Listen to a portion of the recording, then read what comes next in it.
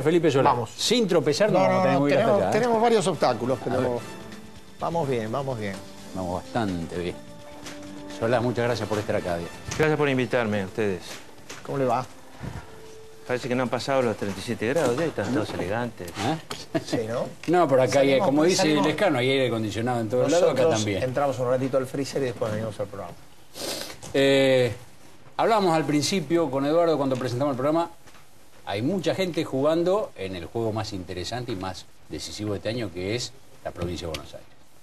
Scioli tiene su juego, Massa tiene su juego, De Narváez tiene su juego, Alicia Kirchner, Sabatella. ¿Y Solá? ¿A qué va a jugar? Eh, mire, el tema es así. Yo me abrí de cierta posición que consideraba que de tan anticristinista que era, anticristinista que era, se había vuelto antiperonista. Ujú. Y que tenía un discurso alrededor de solamente de la cuestión de las instituciones y las formas y se olvidaba del fondo de la cuestión peronista. Eh, ¿Cuál es el problema que tengo entonces? El problema que tengo yo es que, y que creo que tienen muchos argentinos, es que a mí me parece que Cristina no garantiza el mejoramiento de este modelo, mejoramiento en el sentido de los problemas graves que, estamos enfrentando, ¿no es cierto? Inflación, inseguridad y problemas de largo plazo como modificación de, de todo el servicio de transporte urbano en la Argentina. Pero inseguridad e inflación requerirían de, de medidas urgentes y de asunción de, de- conciencia y de asunción de toma de posiciones públicas.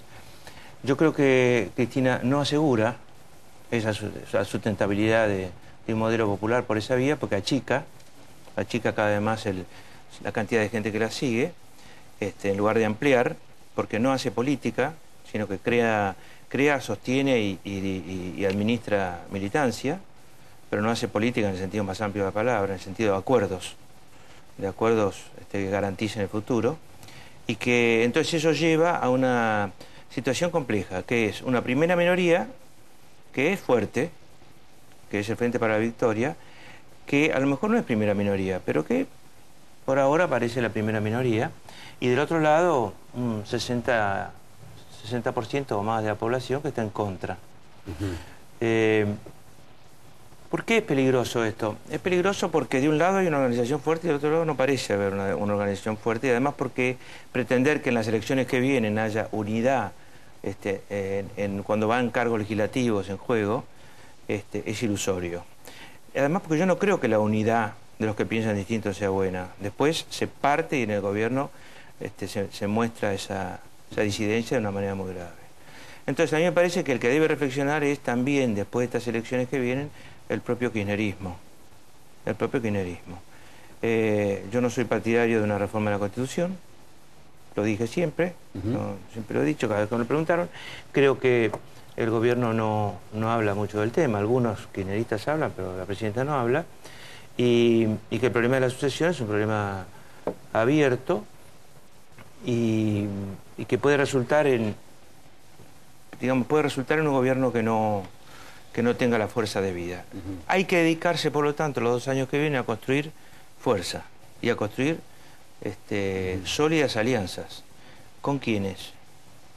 Con aquellos que más o menos piensen que la unidad latinoamericana es importante, que el mercado interno es muy importante, que la movilidad del mercado interno es la única manera de poder este, pensar en una distribución del ingreso en la Argentina. Sin la movilidad del mercado interno, sin movilidad en el segundo y tercer cordón del conurbano bonaerense, en los conurbanos de Mar de Mar del Plata o Rosario, etcétera, eh, no, no hay ninguna posibilidad de, digamos, de, de- de mantener viva una, una posibilidad de distribución del empleo.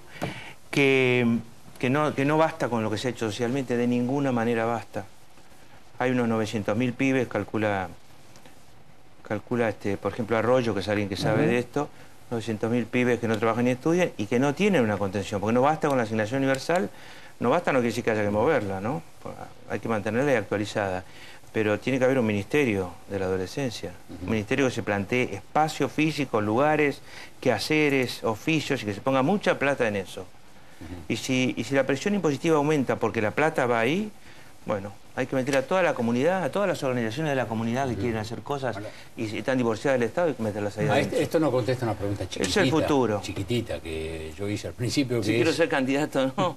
¿Y con Sí, quién pero no y es- dónde? Sí, pero no Entiendo es- que no es, que esto, que ese puede ser apenas un paso circunstancial y, Y que, lo buscar- import- y que lo- y que la perspectiva es esta. Peronistas, ¿no? Tengo que buscar peronistas. Hay un Porque montón. pienso así. Hay un montón. La provincia de Buenos Aires, insisto. Scioli, Alicia eh, No, Kirchner, Scioli- Scioli- Kunkel, Scioli- Narváez, que yo Scioli Massa. 2013 es el gobierno. Scioli es el gobierno. 2013 es el gobierno, después no sé.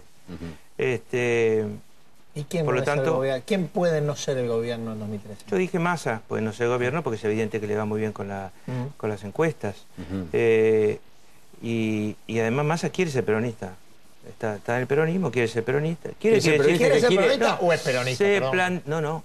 Se plantea el peronismo del futuro. Eh, lo voy a decir de esta manera.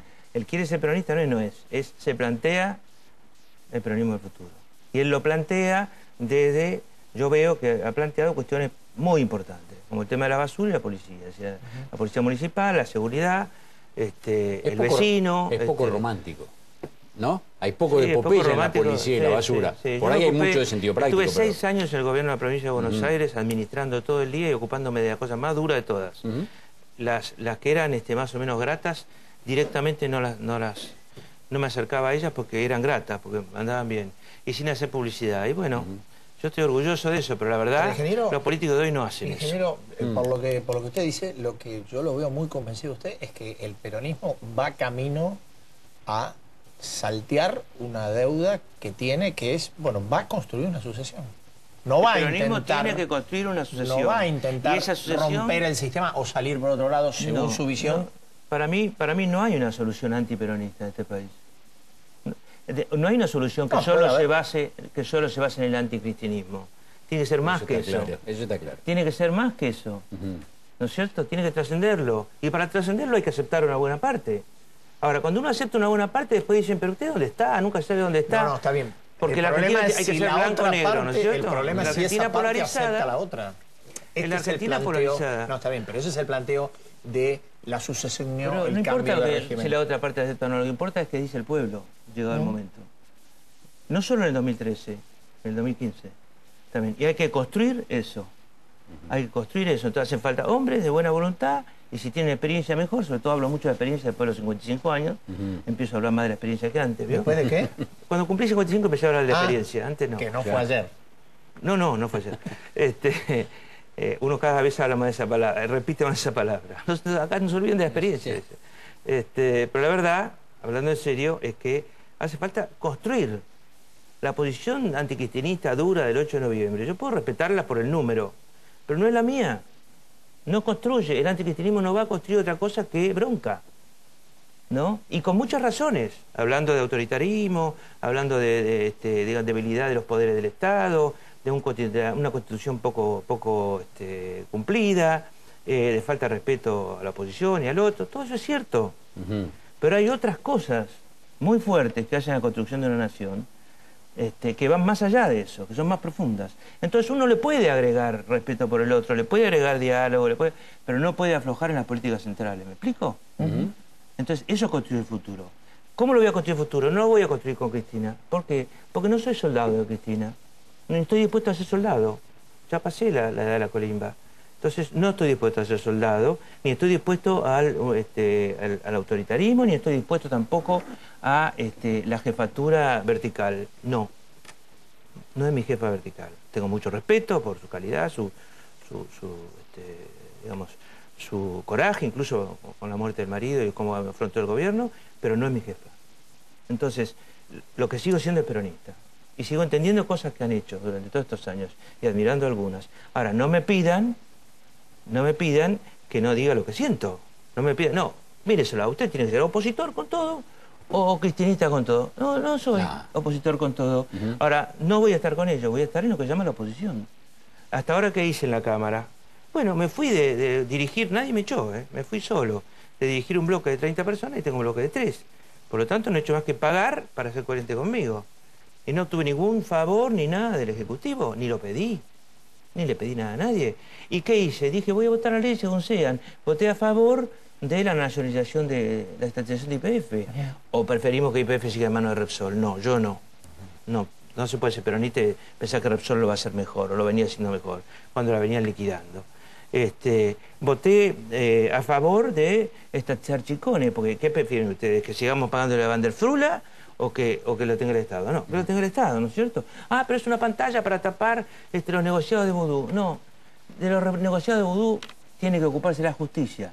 No, no, no pantallas políticas o no. La justicia. Chicone tiene que volver al Estado. Yo voté a favor, ¿no es cierto? Y voté en contra de lo que me parecía mal. Voté en contra de la ley de la CRT, voté en contra de, de sacarle la plata al Banco de la Ciudad, no sé. Voté en contra de, de varias leyes. Entonces, lo que hay que entender en la Argentina es que no se trata de duros o blandos. Se trata de racion- ser racional respecto de lo que se ha construido, de lo que hay, de la fuerza juvenil que hay de un lado, de la falta de sustentabilidad que tiene porque no va a conseguir tener el número de votos suficiente para seguir, y de dónde tiene que ubicarse uno para construir la Argentina del futuro. Eso es lo que hay que hacer. Gracias. Gracias. Gracias ¿eh? a ustedes. Desde acá, sin repetir y sin Sí, soplar, vamos, vamos a... a- pedir la medalla de oro. Empezamos Sí, con los premios de esta noche. Media de oro, director. A ver.